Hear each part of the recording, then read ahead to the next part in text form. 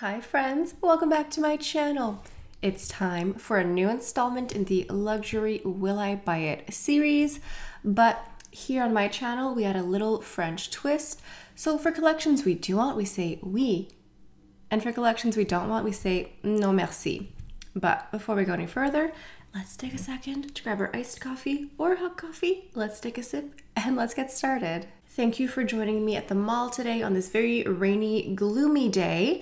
Uh, thank you to those of you who have an Apple Watch. We're gonna go ahead and do some laps around the mall. We're gonna get our steps in. We're gonna see what's new, what's coming out on the horizon makeup wise, because there are some goodies here that I'm very excited to talk about.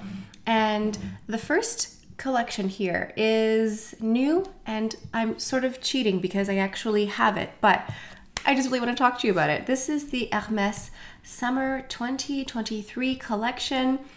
There's a new release for Hermes for the summer, which is very exciting. And this, at first, I was just sort of appreciating for its beauty, but I did go ahead and bite the bullet. So, for this new release, there are three new silky blush powders available. I am, in fact, wearing one of the new blushes today.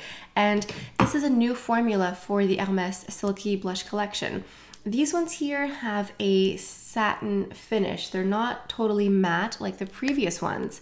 And from what I understand, these three new shades are permanent.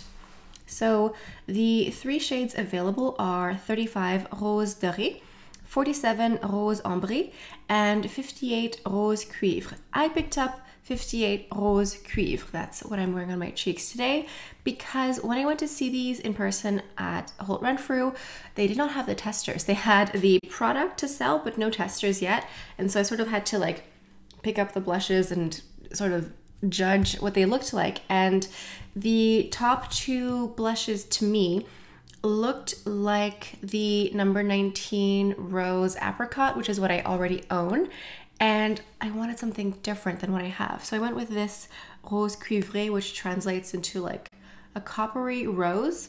And I think that's I think it's correct. It does have a little I'm wearing highlighter over top, but it does have a beautiful healthy lit from within glow. Very very pretty. So there are three options to choose from. Unfortunately, I don't have swatches of the other two.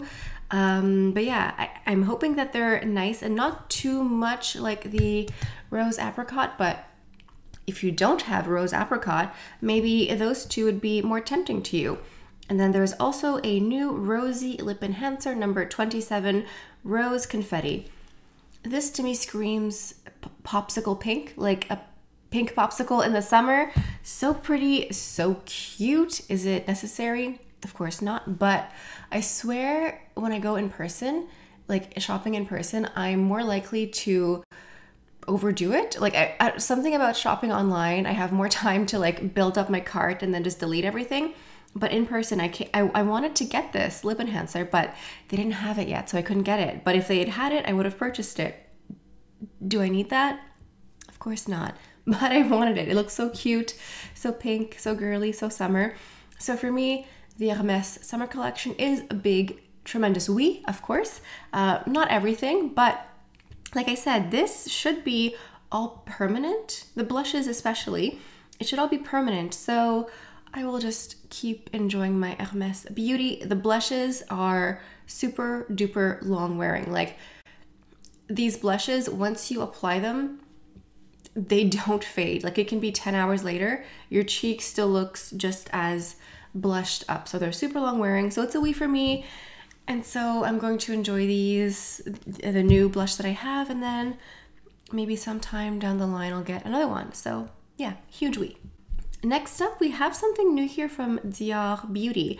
This is the Rouge Dior new limited edition collection, and we have a new series of red lipsticks in metallic, satin, and velvet finish. Let's just take a moment to appreciate this beautiful photo. Like, how gorgeous. Just the close ups. I love the extra detailing on the lipsticks, you know, the, the band, the star, the texture, it, the velvet a lipstick looks so cool. Like it looks like actual velvet or some sort of fabric. The metallic one looks so sparkly and it just looks so pretty. So these are new and limited edition. I'm not sure what this collection is exactly other than just new lipsticks here and it appears as though these are all red. We do see in this photo here 840, 776, and 720. 720 is a repeat. This is 720 icon or icon. This is a repeat consistent color. So I'm wondering if some of these shades have been here before many times, but with new packaging, new bedazzling, all that jazz. I think the middle shade looks the most intriguing for me. It sort of seems to have that sort of raspberry berry pinkiness, especially compared to the other two that sort of have a bit more warmth and orange to them. I mean, it's a, um, a season for every color, but I'm more leaning towards that center shade. But that being said, I have a couple metallic lipsticks. I don't really wear them. I like a gloss, I like satin, like a velvet, like a matte, but sometimes metallic, I don't know, it's just not really for me. But if it's for you, I think you're going to enjoy yourself because there are going to be, okay, so three metallic shades, three satin shades, and then three velvet shades. And I think it's not the exact same colors. Some of the number 999, that's the classic red for Dior. It's like the house brand red. That one is going to be repeated throughout the different uh, formulas and finishes. Is this for me? I can appreciate its beauty and the extraness, but I think it's a non merci. It's just an easy pass for me right now at the moment. I just picked up the Dior summer release. I love it. It's what I'm wearing on my eyes and my nails. Love it. These reds, they're not really calling me. No merci. And honestly, it's fine because it's actually for the best for my wallet.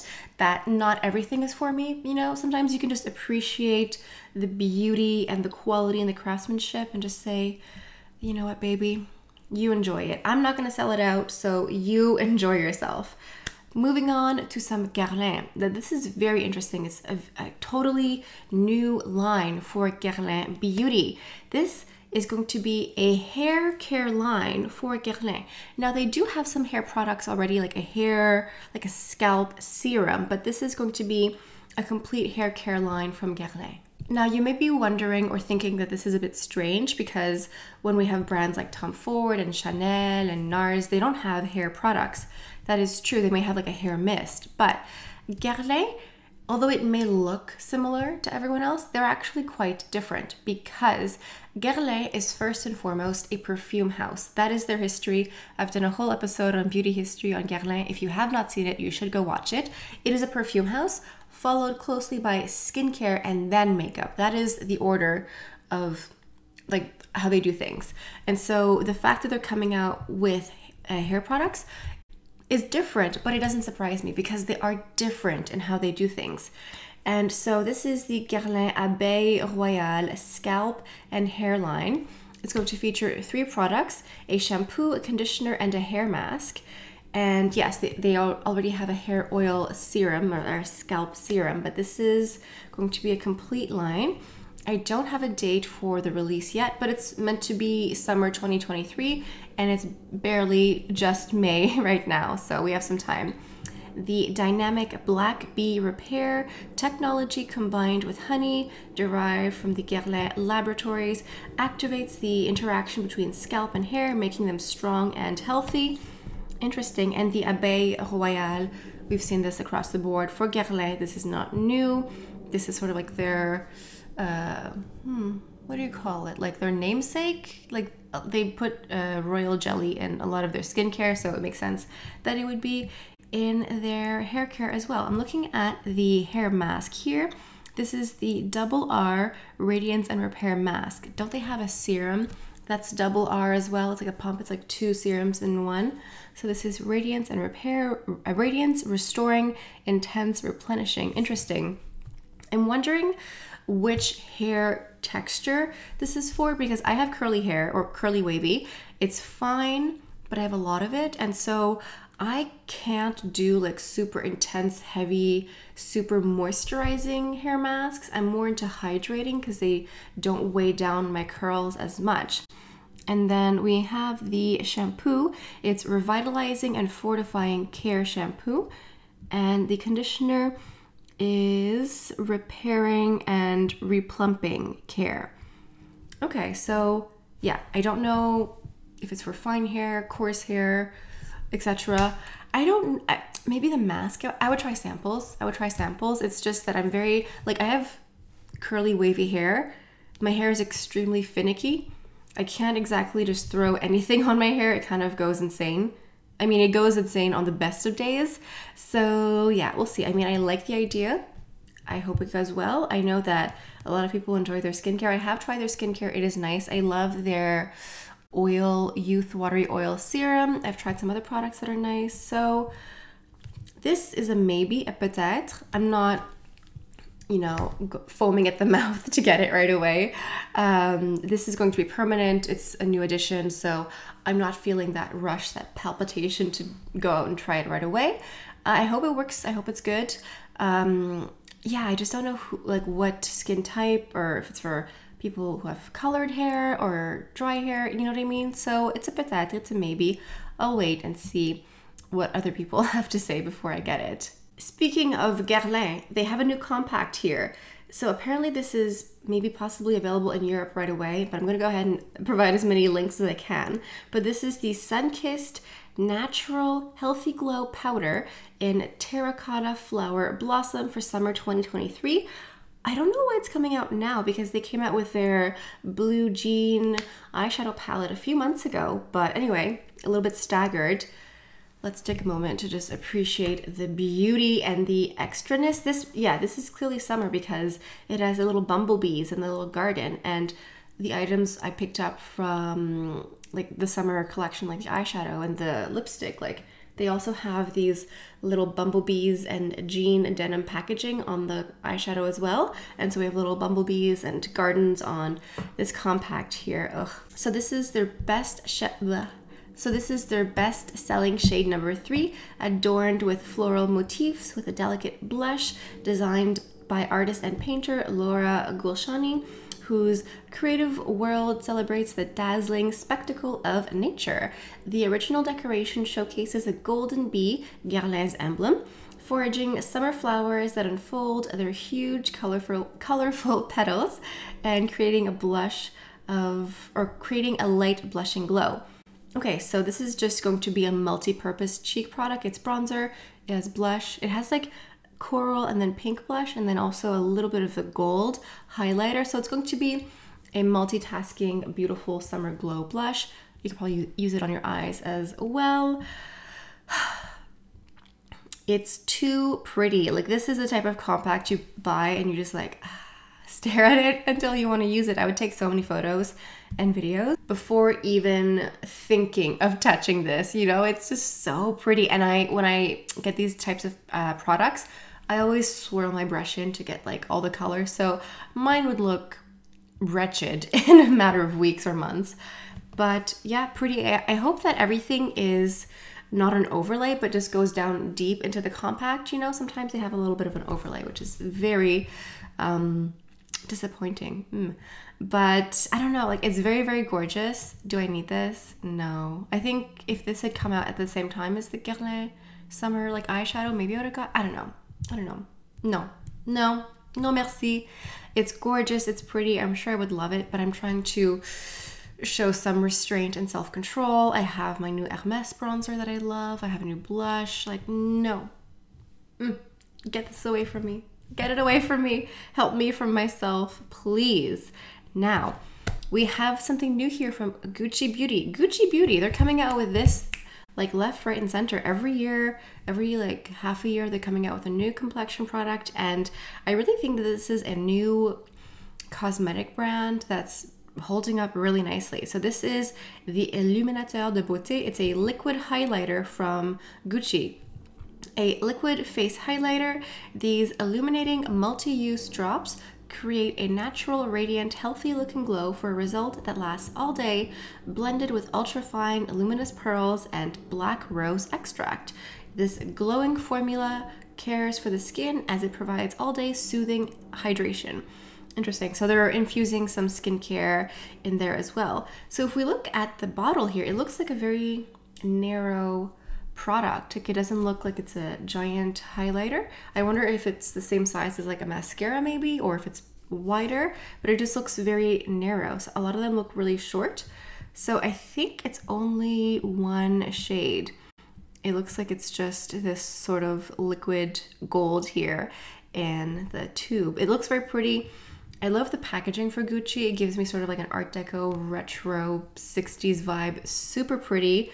I love that gold band around the top here. I love that the pipette thing, uh, the squeezy part, looks like it matches the liquid highlighter. That level of detail, that just extra uh, level of attention, I think is so extra and wonderful and that is exactly what we require in luxury beauty. And this looks like it's made out of glass. I'm guessing the tube outside here is glass. We have some photos here of models. Of course the models look absolutely stunning and radiant and have the most perfect skin with no imperfections or texture whatsoever but it looks like it's going to be usable for many different skin tones. So interesting. Um like I've said before, I'm not really a highlighter girl, but I do prefer liquid highlighters in a way, which is interesting because I often use them as a primer. So I'll put them on underneath and then I'll go into my makeup and everything. But that being said, I don't know. I think it's a non merci for me. Like I can look at this and recognize it's pretty, but it's not for me. It's really, I don't know it's it's not something that is tempting me. Like the the Guerlain terracotta bumblebee bronzer looked really pretty and that was tempting for me. This one here, no, it's not that tempting. No merci. I appreciate it. You can enjoy it, but for me it's a no merci. All right, moving on to Natasha Denona.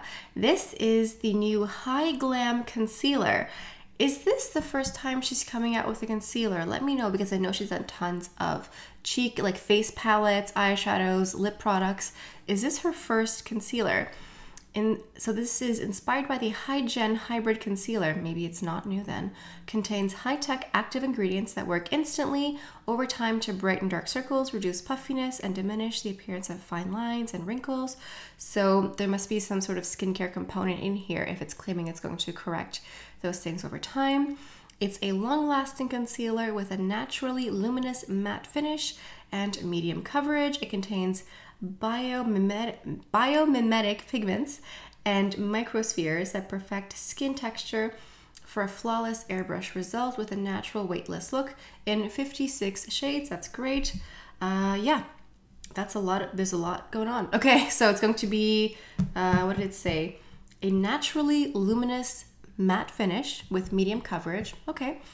I'm, I find that oftentimes concealers that offer more coverage dry down faster. I don't know what it is about that, but oftentimes that's the case. So just blend um, quickly if that's still the case here. And 56 shades, that seems like a really great shade range for concealer. I am currently not in the market at all for a new concealer. I have my new Givenchy concealer that I really like that I'm wearing today. I have my Chanel Sublimage concealer that I've been loving completely. So this is really not for me. I'm glad if it's for you. I love it for you, but for me, it's a non merci. I'm just really not tempted by this at all. Like I've really I haven't been tempted by much of Natasha Denona to be honest. I haven't tried that much. And the few times that I have tried stuff, it was so bad that I returned it. So I've just been like, mm. but I do like I have like her mini soft glam or something that I do enjoy. So I don't know. It's just like it's not my brand. So we all have our brand that we're like, oof, if they come out with something new, I'm gonna try it. This is just not for me, which again is perfectly fine because it saves my wallet. So for me, it's a non merci. But for you, Natasha, Denona, Natasha Denona heads, like you know, it's like you're a super fan. Please enjoy these new concealers and let us know in the comments what you think. Moving on to something new here from Miss Lisa Eldridge. Yes, speaking of like new cosmetics companies that are just coming out with new stuff and doing really well, we have skincare from Lisa Eldridge. I didn't realize she was going to do skincare. It's always interesting to guess what she's coming out with next. So, yeah, the new skincare launch here. So, we have the Skin Enhancing Treatment Cleanser, a balm cleanser formulated with a unique blend of active ingredients to deeply clean, soothe, restore, and hydrate the skin. A three in one product performs brilliantly as a cleanser, face mask, and a facial massage treatment. The hybrid formula transforms from a balm to oil to milk, seamlessly removing even the longest wearing makeup and waterproof SPF. Listen, one thing about me, I love a double cleanse. So I love that she's coming out with this uh, skin treatment, cleanser, makeup remover because if you're going to wear makeup, you need to uh, cleanse it properly. So I love that for her. And this is 49, I'm guessing 49 USD. And then we have the Skin and Makeup Enhancing Mist, 42 USD. Ultra fine makeup mist infused with skin loving ingredients created to be used as part of your skincare routine and to set set makeup and hydrate. Interesting. It kind of makes me think of the Violette FR Boom Boom Milk Spray, which I really like. It's like, well, the Violette FR is skincare. It's three in one for toner, serum, and cream moisturizer. This here is skincare, but also makeup setting spray, which is different. I hope that the nozzle is fine because I like the Violette FR Boom Boom Mist, but spraying it like this, it doesn't really offer a fine mist. So I hope that this is a fine mist, especially if you're spraying it over top of makeup. Because when you're using a setting spray, the last thing you want is just like a big chunk over here and nothing over there. Like you need it to be a beautiful mist. So I hope that's the case here. And then we have the luxuriously gentle cleansing and exfoliating cloths. Two dual-sided cloths. The soft microfiber side is perfect for a full face cleanse and the muslin side is for a deep cleanse and gentle exfoliation. Listen, these look like products that Lisa Eldridge herself would be using. So I appreciate that. And the price for the exfoliating cloths are $12. That's very reasonable. So I think this is very interesting. Uh, I like the cloth idea because sometimes I do take like a, a face cloth just to, you know, get a little bit of exfoliation sometimes instead of a product. I love this. I think this is great. I think I'm the most tempted by the cleanser and then the cloths. The spray, I don't know. But yeah, I think this is a peut-être. It's a maybe. It's a oui, but not right now. Like it's a yes. I, I want to try these, but just not like this instant. And I'm wondering if she's going to do samples like on her website because does she do samples yet? I would love that if she would if she would do samples when you buy products. If you could just get like a little sample of a couple of these products, especially the cleanser. I would just want to see like would it take off today's makeup? I'm wearing a lot today. Would it suffice? I would hope so. So yeah, I think this is a oui. It's just a, at a later date for Miss Lisa Eldridge. Very happy with this.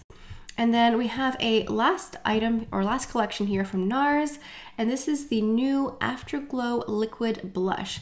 A lightweight, skincare infused liquid blush create a lasting, natural looking glow with a buildable, transfer resistant formula that layers and blends without streaking. These are 32 USD each, and there are six shades to choose from. This will be available May 16th at Sephora, so very, very soon, sooner than we can imagine. Time goes by so fast. I like that it's long lasting, it's buildable and natural at the same time.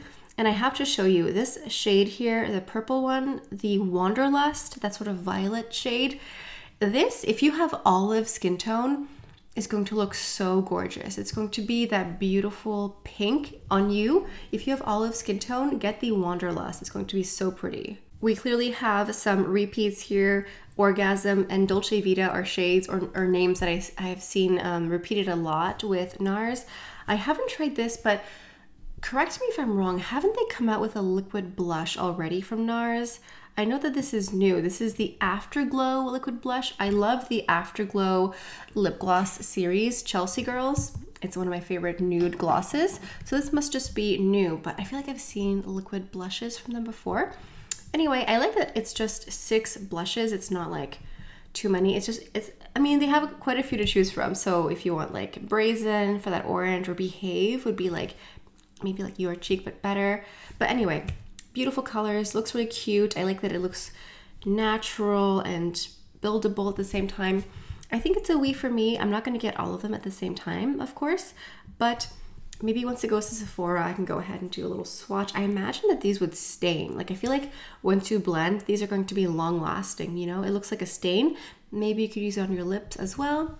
Very exciting. So, yeah, that is about it. We've done our laps around the mall. We've gone through all the different floors at the Eaton Center. We've gone to Holt Renfrew, McGill. We went everywhere. Thank you for joining me today to get my steps in. How many steps did we get in? You with the Apple Watch, let us know in the comments. Let me know in the comments what collections are calling your name and pulling on your wallet and heartstrings, let me know. If you're new to my channel, I talk a lot about new luxury beauty. I talk about these will I buy it videos once every week, every couple of weeks, and I let you know or be in the know about new luxury beauty releases. So make sure you're subscribed. And that's all I have for you guys for today. Thank you so much for stopping by. Hope you have a beautiful day, and I'll see you next time. Bye.